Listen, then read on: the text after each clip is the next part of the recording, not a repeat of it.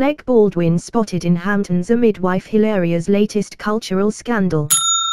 The Hollywood actor has been on vacation in New York while his wife Hilaria Baldwin makes headlines again.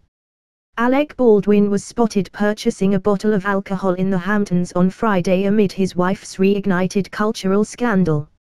A paparazzi photo snapped of the 63-year-old actor shows Baldwin walking down an unassuming green path in a black t-shirt and navy trousers.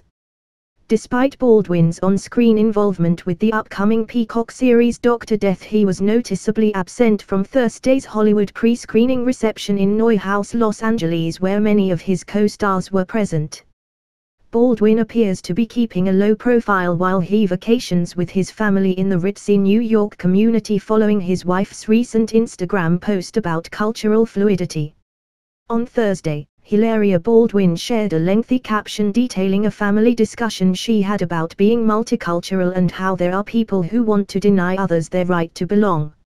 Earlier this year, the 37-year-old yoga instructor and podcaster faced criticism for misleading her fans into believing she had direct roots in Spain in past interviews and magazine features dedicated to Latin audiences, including Hola and Latina. Past and recent critics condemned Hilaria's misleading identity as an act that took away space from other celebrities who have actual ancestral connections to Hispanic and Latin American groups while Hilaria apologized and clarified in February that she was born in Boston and was simply raised in a household that admired Spanish culture due to her father's undergraduate degree in Spanish literature, she has remained adamant that she feels a deep connection to two cultures. Her parents later moved to Mallorca in 2011, which reportedly contributed to her affinity for the Spanish language and culture. In her recent Instagram post, Hilaria defended her multicultural identity by writing, We all get to curate our individual expressions of our cultures, languages, who we love, what we believe in, how we dress, present ourselves.